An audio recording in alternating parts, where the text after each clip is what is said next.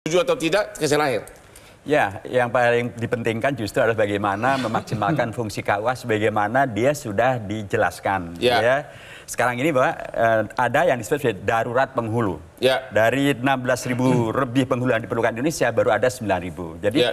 eh, belum lagi tentang status daripada kantor KUA yang dimiliki oleh eh, Kementerian Agama hanya 52 persen. Selebihnya malah ada wakaf dan lain sebagainya. Jadi karenanya eh, jangan kemudian KUA malah menjadi kontroversi Ya. ketika kemudian sumber daya manusia juga tidak memadai, kemudian juga eh, sumber daya perkantoran tidak memadai. Jadi sangat baik kalau Gusmen memaksimalkan peran KUA sebagaimana yang sudah ada dalam peraturan Menteri Agama terkait KUA dan kemudian mengembangkan eh, kerukunan beragama itu melalui penghormatan Artinya jangan membuat yang baru yang ada aja belum beres gitu. yang ada perlu diperbaiki dan toleransi terus kita maksimalkan. Oke Pak, Jelajahi cara baru mendapatkan informasi. Download Metro TV Extend sekarang.